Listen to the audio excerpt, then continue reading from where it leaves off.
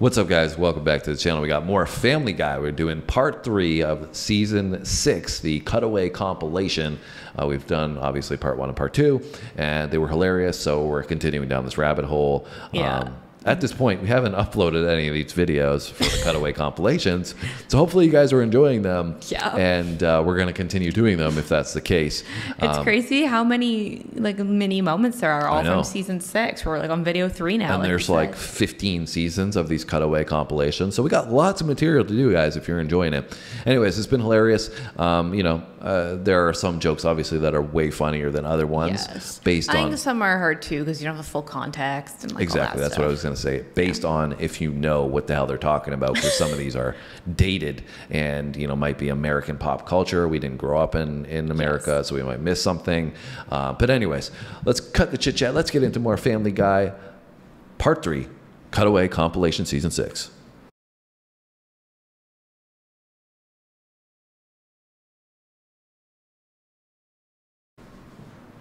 Free burgers? Oh man, this is a way better offer than the one I got from Helen Hunt.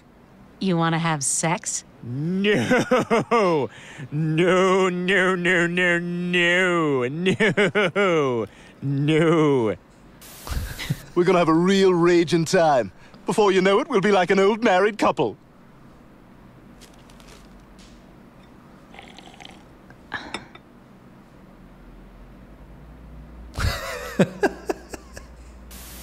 First thing we're gonna do is get you a perfect fake ID. I know a guy who does good work. You took a big risk coming here, man. James Woods could be back any minute. I know. How fast can you do it? As fast as Spider-Man when he gets laid. Oh God, I'm so sorry. It- That's never happened to me before. It's just you're so attractive and it's been a while. I'm gonna go. You know, some people say that's good for your hair. I just wonder if she'd even want to see me. I wasn't exactly the nicest guy in the world. And then, in high school, I was violated sexually by my father. It happened on numerous occasions, and I was too afraid to tell anyone because I felt like somehow it was my fault. So you do go all the way. Your life would have been more miserable than a lonely old widow living in a downstairs apartment. Achoo! Quiet! Keep it down up there! What did I just say? Oh, he killed her. Just like the telephone killed the telegraph sex business. Hey, baby, I bet you're hot. Stop. Describe to me what you're doing to yourself right now. Stop. Oh, yeah. Oh, yeah. Oh, nasty! This is a bigger disaster than Jack Black's last movie.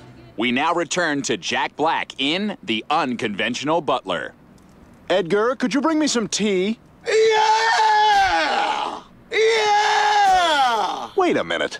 Butlers are supposed to be fancy and well mannered. This guy's screaming and waving his arms around. You're an old man. You don't understand the young people. You're right. I'll change from now on. Hello, operator. Crestview 4162, please. One moment, please.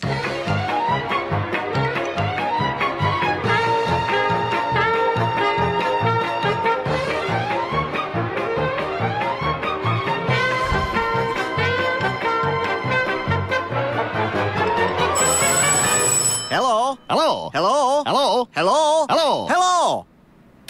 Well, what do you know about that? You and I will be the best brother sister team since Maggie. did you get that No, not really. i have no idea what that was supposed to represent yeah, I'm not entirely sure. these are one of the one of the jokes that just went way over Yeah, head. I'm like, what? so far my favorite one is the uh, I mean, I got the, the them like connecting him on the telephone because that's what they used to have to do with the operator and put it through to the right thing, and it was showing how far it went. But this whole just like hello, hello thing, Yeah. I was like, favorite one so far has been the Spider-Man joke. Hello. Hello? Hello. Hello? Hello. Hello? Well, what do you know about that? You and I will be the best brother sister team since Maggie and Jake Gyllenhaal. I'm more off putting. No, I'm more off putting. I'm more unattractive to put in a lead role. Well, I'm a bigger box office drag. Kids, kids, you're both just awful. Ugh, that's the ugliest thing the fat man's grown since that horse leg. Hey, Peter, have you seen my. Ah! Oh, Brian, I'm sorry, but what do I keep saying? Do not stand behind me, because I will get scared. oh, crap, Peter, it's a flash flood. Oh, man, I better save my autographed picture of Dean Cain. You know, from before he got all desperate for attention. Hey, is that Dean Cain on that park bench? Oh, God. I'm sorry, Mayor McCheese, but I'm not sure if any cosmetic surgery is even possible. Look, if it's a financial issue. Well, it's not an issue of money. Your head is a cheeseburger. There's no blood flow to it. It's just it's just dead cow meat. All right. Well, I appreciate you giving it to me straight. All right then. Have a tasty afternoon. ah, there's a smile. Now I want a cheeseburger. Hey! Hey, how are you? God, it's good to see you. Good to see you too. How's my dog? I'm I'm sorry, your dog. Oh, oh, I, I had to give him away. Gave him away. Well, Dave's allergic. Dave! All right, so there's a Dave. That's great. God, Dave sounds great. Yeah, he is. And his parents are so sweet. Aw, met his parents and they're sweet. Just older Daves, huh? what a family. God, it's good to see you. It's taken us all by surprise, Meg. Like that realistic original ending to Dirty Dancing. Nobody puts baby in a corner. I do, because I'm her father and she's 16. What are you, like 38? 41.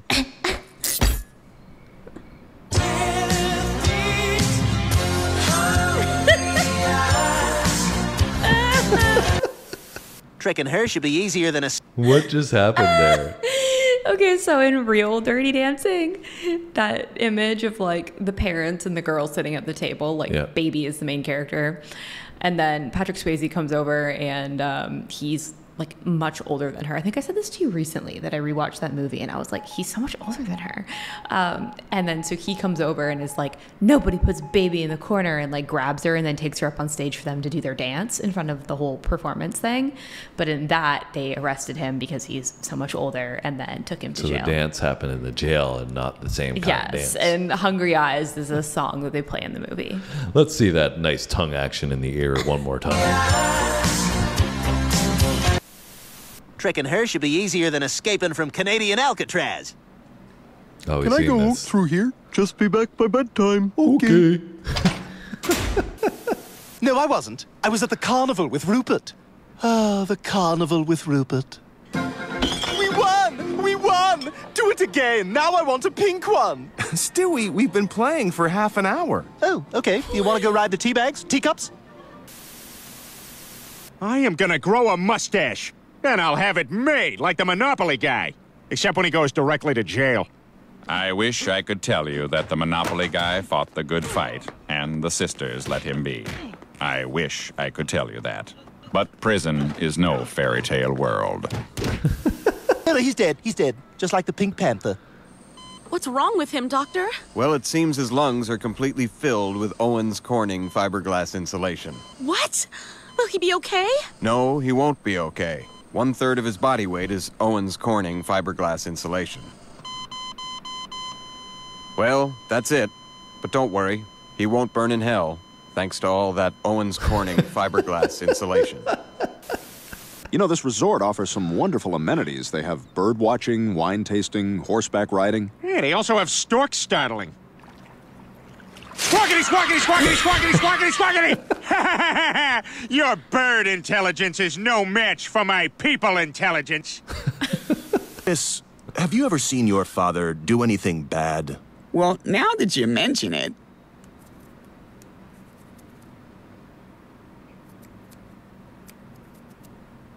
Hey, Meg. Proud of you. We now return to Dr. Terry Fabulous, homosexual gynecologist. Okay, Mrs. Robinson, let's take a look. Ew, it looks like a sad old man. Here, check this out.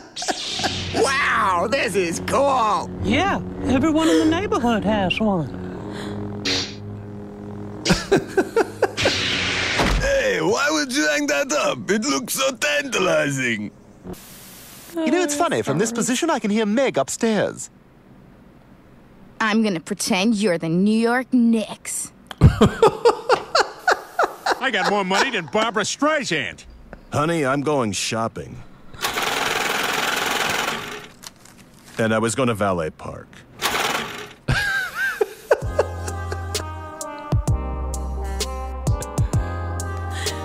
Oh, there was definitely some good ones in this one. Definitely You're the just back back giggling half. away at the uh, looks like an old man. and only a homosexual gynecologist could say that. yeah, seriously, and get away with it. There were some there were some really good ones in that back half. The last three minutes of my favorite of this one. Yeah, what, what would you say was your favorite? Um, I don't know. It's kind of hard to pick out. Like I said, that one that you just mentioned was was pretty funny. The ATM one that we just watched was pretty funny. Um, in the beginning, we said the Spider-Man, Spider-Man one was one. was pretty funny. So there was there was There's multiple lots. ones. Yeah. yeah, no, it's good. I think I liked the first one the best, then this one, and then the second one. You talking about the cutaway compilation Yeah. in general? Yeah, yeah, yeah. I feel like the first one that we did, I laughed the most. This one was good too. It was a close second, and then the second one that we watched, I had place in third place. Yeah, the New York Knicks one was funny as well. well, hopefully you guys enjoyed it with us, and if you did, you know what to do. Hit the like button for us. Leave us a comment. Let us know if you have a favorite so far out of the part three or the other three parts that we've done, and let us know that you want to see more, and we will come back and do more for sure.